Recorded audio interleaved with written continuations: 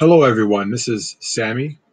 The topic is how to draw Lewis structure and find electron and molecular geometries and find, bond angle of a compound.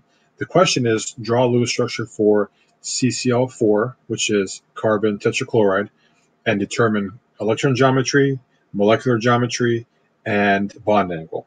So the first step is we need to find the number of valence electrons for the compound CCl4.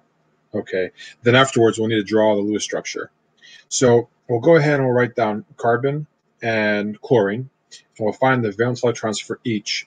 So since carbon is in group four, it's going to have four valence electrons, but we only have one of those. So we're going to multiply by one and get four. Chlorine is in group seven, so it has seven valence electrons and we have four of those, so multiply 7 times 4 and get 28. We add these two together, we get a total of 32 valence electrons. Now, the carbon is the, um, the least electronegative compound um, at, or element in the compound, and that will go in the center. So carbon will go in the center, and then it'll be surrounded by the four, four chlorines. Um, we need to go ahead and form single bonds between the chlorine, the carbon, and each chlorine. So we'll put uh, two single uh, electrons uh, between uh, each carbon and, elect and, and uh, chlorine uh, bond. So we'll put two electrons here, two here, two here, two here to form the single bonds. So we have total of 32. We used up eight for the single bonds. So we have 24 electrons left over. We have four chlorines. Each chlorine can take six more uh, electrons. And so six times four is 24. So we've used up all the electrons. So you can see that each chlorine has six electrons. Okay.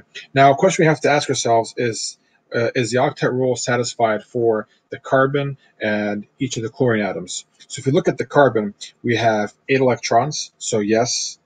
And if we look at each of the uh, chlorines, we see that we have eight on each of the chlorines. So the chlorine, yes. So so all the chlorines and all and the carbon have satisfied the octet rule. So now let's go to step. Uh, well, and then this right here was the Lewis structure, so we, we actually drew it right there. Okay. Now let's go to step two. Step two is to determine the electron geometry. So the form for the electron geometry is A, X, B.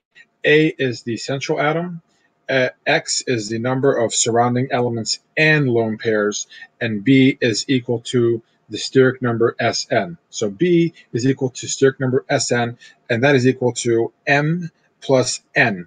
Okay, so M is equal to the number of surrounding elements, and N is equal to the number of lone pairs. So if we go back and look at our Lewis structure, okay, carbon is going to be A, the central atom, okay, and it's surrounded by one, two, three, four chlorine atoms.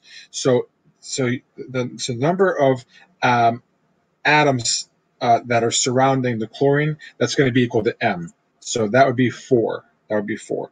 Now, the the uh, number of lone pairs, N, is the number of lone pairs that's, that's on the central atom carbon. And as you can see, there are no lone pairs on the central atom of carbon. So n is equal to 0. So we just add those two together, we get 4. So the steric number, which is equal to b, is 4. So the formula, the form uh, would be AX4, which is tetrahedral. So that's the electron geometry, tetrahedral.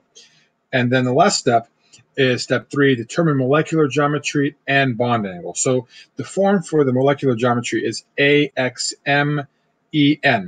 A is the central atom, X is the surrounding elements, M is the number of surrounding elements, E is the lone pairs, and then N is the number of lone pairs. So we already found the M and the N from before. So we just plug them into here and we'll get AX4, uh, which is tetrahedral. Okay. And then to find the bond angle, it's going to be based on the molecular geometry. So once you know the molecular geometry, which is tetrahedral, you can actually find the bond angle. And that's going to be um, 109.5. So if we were to go ahead and draw what a tetrahedron looks like in a ball and stick um, uh, figure, um, it would look just like this. And you can see that, uh, you know, between the bonds, you know, these arrows between the bonds um, represents the uh, the 109.5 bond angle, and that's it.